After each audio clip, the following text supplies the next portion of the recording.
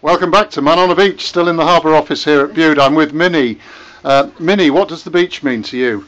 Um, I think we're probably much the same as anyone that lives on the coast, certainly around Cornwall anyway. Uh, being a local boy, I've been brought up here, spent all my life on the beaches, and been lucky enough to been able to work on the beaches. And uh, I fish out of Bude Bay as well, and um, yeah, great environment.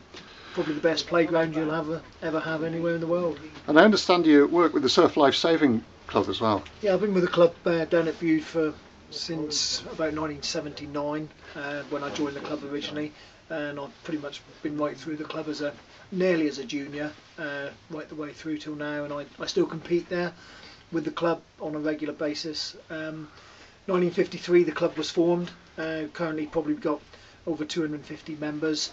Uh, a lot of nippers, that's the young ones from seven years up to 12 years, and then they come through to us to the senior club and spend the rest of the time and obviously big tradition here on the water and the ocean and everything else. So we have a huge amount of people that are family and family orientated, Bude people and people who've moved here.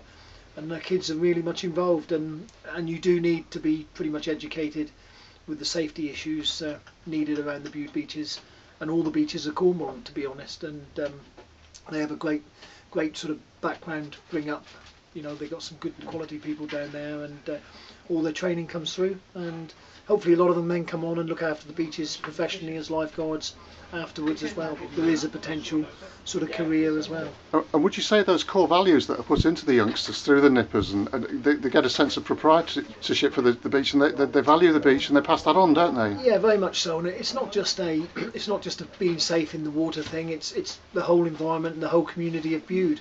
I mean, there's probably nearly 300 people involved from the nippers right up through the seniors, and they've all got aunties, uncles, and grands and grandfathers, and um, they're all good good friends, and so it's a big big community thing.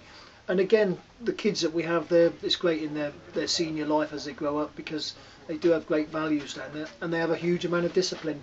Um, because of the environment they're they're playing in, they certainly have to be make sure that they they're aware of what's happening around them, and most of the kids that come through the nippers and the juniors, uh, they all turn into quite good, you know, people in the in the town. Yeah, And, that sense um, of awareness and of self-discipline helps later in life away from the beach, very doesn't much it? so. And I and they do they do have a great deal of discipline put onto them because it, it is an, a pretty alien environment, the uh, the beach and the ocean. So a lot of fun there, and they have a great time, but they also have to do it in safety and uh, be responsible for themselves and their and their friends. Really, Thank you very much. All the best. you're welcome.